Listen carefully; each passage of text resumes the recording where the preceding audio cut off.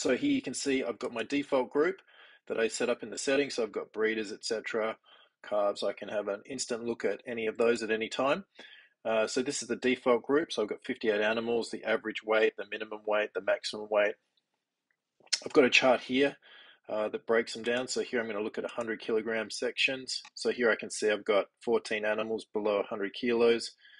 100 to 200 I've got 40 and then above I've got three. So I've got 43 that I'm preparing for market. Here I've got a, another interface that I can look at in the different weight segments. Okay, so that's your initial look at your dashboard. Here I can look at the list of animals that I've got, so I can show that down to uh, uh, a better view. So I've got the 58 animals. That's all their electronic tags, their visual tags, their date, average day, daily gain uh, since they were last weighed, medical batch, uh, more details, and any notes regarding that animal. So I've got the full individual animal history there.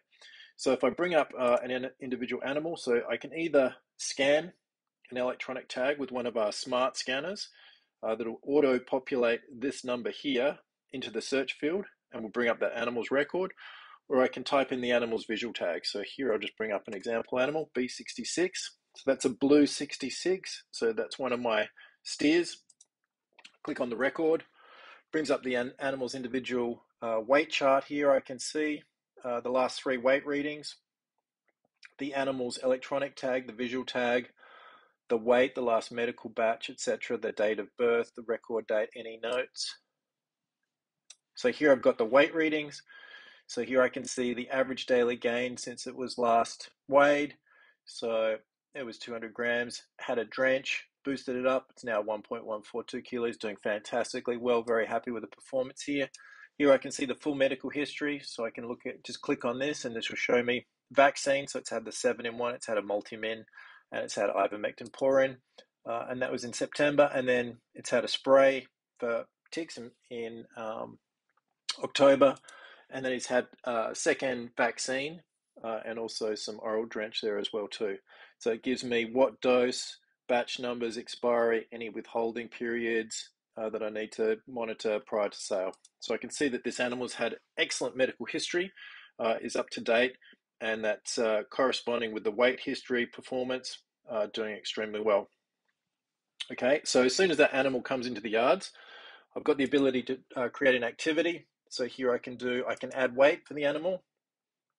So as soon as I enter a weight reading for that animal, that will automatically calculate uh, average daily gain since it was last weighed uh, and put that reading up there as well too. And it will give me the weight history there. So I can, as soon as that animal comes in, I can check that weight, the average daily gain, see how it's performing and do any medical treatment if it's, uh, if it's not performing well. Adding the medical treatment, so I can just add the batch, select the batch that I've created before, add any condition, notes, uh, etc., genetic health, got the ability to add those uh, as well too. So here I can add any notes about the animal. If I, you know, there's something that I want to add in there, I can uh, do that and the date. Also works with things like the Apple Pencil. So if you don't like typing, you can just use a, um, the digital pencil. And you've got a master one that you can use as well too. You can mark as sold and you can create a medical batch through this interface as well too. Okay, so just going back to the dashboard, gives us that view. I'm going to run into, uh, so that's just a bit of a quick overview on livestock. Uh, so with livestock, you can also do an advanced search. So advanced search is quite powerful. So you just click up here on the top right. So I can look, I can select the group. So if I want to look at these guys, and then I want to look at particular weight range, I can bring up weight range. If I want to look at the particular medical batch, uh, anything that I want to do there average daily gain, if I want to look at that between uh, those ranges, I can do that too.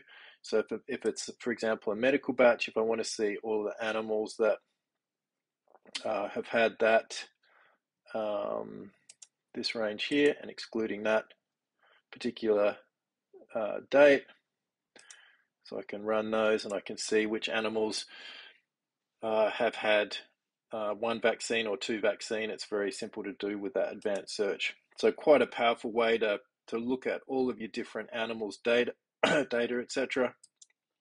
And even looking at the, the average daily gain, I can run uh, some analysis on there too. So if I want to look at Uh, if they're running between 0.2 and 0.4,